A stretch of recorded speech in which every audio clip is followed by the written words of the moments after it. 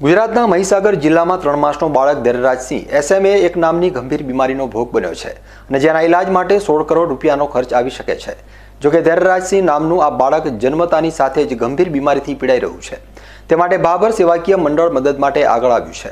પશુ પક્ષી કે માણસ કોઈપણની મદદ એટલે ભાભર સેવાકીય મંડળનો જીવન મંત્ર.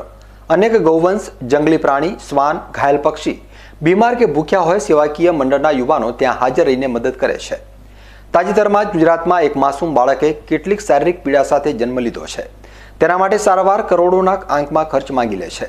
જોકે ગરીબ મધ્યમ કુટુંબ આવો ખર્ચ કરવા કમજોર હોય છે, ત્યારે ગુજરાતની પ્રજાને પોતાના પનોતા પુત્રને સારવાર અપાવી તેના જીવનને તંદુરસ્ત આરોગ્યમય બનાવવાની મનોમન શુભકામનાના ભાગરૂપે આર્થિક સહાય માટે અનેક યુવાનો આગળ આવ્યા છે. ત્યારે સદૈવ સેવાના ભાવથી વણાયેલા સેવાગૃહ ભાભરના યુવાનો પણ આ માનવ જિંદગીની વહારે ચડ્યા છે.